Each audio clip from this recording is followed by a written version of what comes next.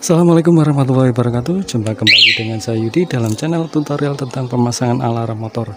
Di vlog kali ini saya berkesempatan untuk memasang alarm di Vixen 2015 Ya di alarm ini saya menggunakan uh, alarm buanti Ya.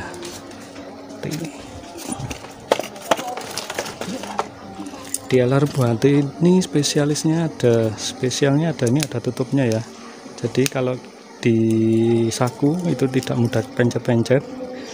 Cuma untuk fitur-fiturnya hampir sama di alarm yang yang biasanya yaitu yang ini ada tanda gembok nutup ya di uh, sebelah kiri ini dia untuk kunci ya kunci alarmnya. Dia kalau sudah dikunci gini dia sudah bekerja alarmnya sehingga kalau kita bobol kalau posisi sudah dikunci kita nyalakan pakai kontak atau dibobol itu dia akan bunyi ya dan tidak bisa di starter ya hmm. nah eh, selain tidak bisa hidup motornya terus alarmnya bunyi ya. jadi eh, menambah pengamanan di motor kemudian kalau sudah dibuka ini tanda buka gembok buka ini jadi ini sudah eh, alarmnya tidak bekerja jadi normal seperti biasa. Hmm. kemudian ada tanda petir. Tanda petir ini adalah untuk menstarter motor ya. Starter motor dari remote ditekan dua kali agak cepat ya.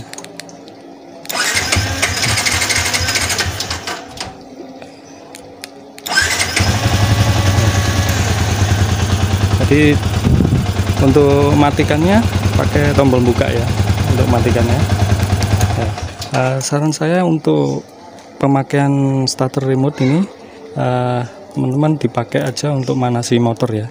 Jadi kalau dipakai jalan motornya juga bisa. Cuma uh, belum tahu ya untuk ketahanan alarm-alarm motor sekarang itu uh, tahannya seberapa lama seberapa jauh ya. Soalnya itu pakai elektronik. Jadi saran saya untuk uh, pemakaian anti starter anti starter ya starter remote.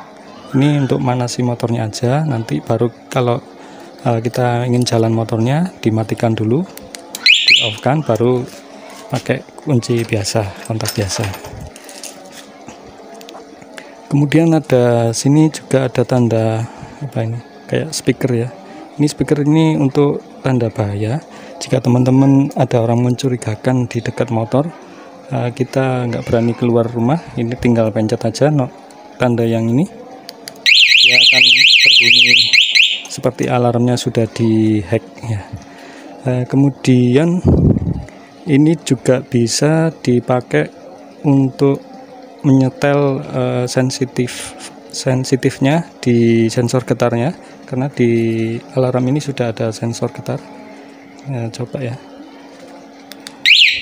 ini sensor getarnya agak lumayan uh, sensitif. Kita akan pilih ya. Dipencet agak lama. Nanti muncul pilihan satu sampai dengan 5 kemudian kalau sudah oke okay, yang dipilih tinggal pencet tanda gebok buka. Ya. ya seperti itu cara operasional di alarm ini. Kemudian untuk silent ya ini alamir ini juga bisa silent mode. Jadi teman-teman waktu malam-malam uh, nggak nggak pingin ngunci tanpa suara juga bisa ya. Ini ditekan agak lama sekitar tiga detik. Nah ini lampunya juga nyala. Ini menandakan kalau uh, silent mode kalau ketipnya satu kali berarti itu kunci ya. Nah, kalau ngetip dua kali itu buka. Ya seperti itu. Oke di sini lanjut akan saya tunjukkan bagaimana sih cara pemasangan alarm di motor ini. Yang pertama untuk tanda uh, kabel warna merah itu saya nyambungnya di sini ya. Di kabel besar setelah sekring setelah sekring ini sekring 30 ampere? Ya sekring besar ini. Ya, setelah dari aki ini ke sekring baru sekring ke alarm. Ini saya sambungnya di sini. Diusahakan teman-teman untuk disolder ya biar nanti tidak mudah ngefong dan alarmnya awet nanti. Karena kalau nggak disolder itu bisa berakibat ngefong panas hingga nanti alarmnya lama-lama nggak bisa hidup. Untuk kabel merah sini ya di sini kemudian untuk kabel orange untuk kontak onnya ngambilnya di sini di strum flexernya yang dia di belakang ini.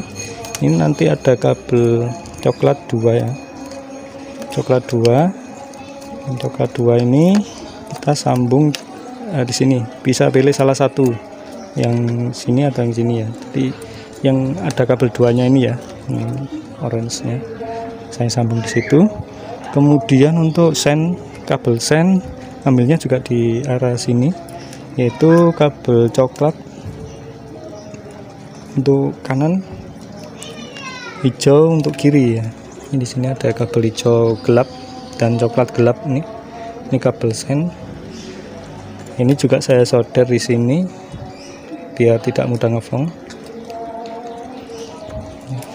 kemudian untuk nah ini yang penting ya untuk starternya kabel biru dari alarm.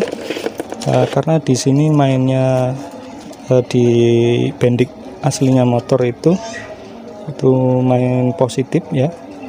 Jadi ini saya lepas uh, ini kan ada kabel merah ya.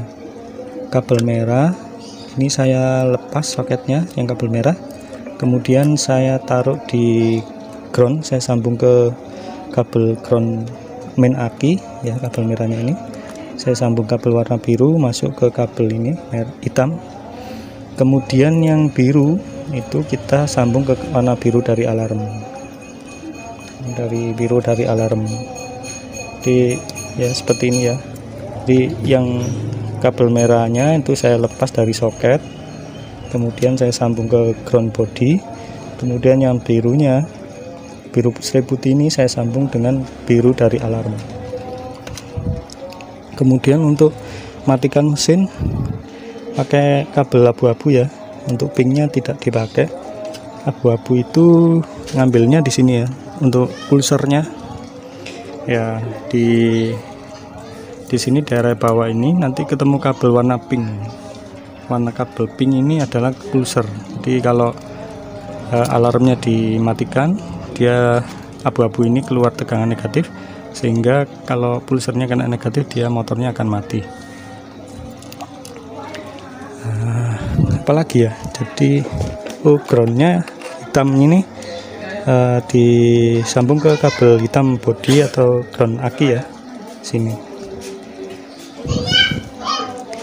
Uh, yang lainnya sama ya ya cuma itu aja. Uh, Oh ya bagi teman-teman yang mau pesan alarm bisa WA di 081945157152 ya atau datang langsung di Jalan Bandulan Baru 160C Sukun Kota Malang Terima kasih sudah menonton. Selamat mencoba, sukses selalu, lancar barokah. Assalamualaikum warahmatullahi wabarakatuh.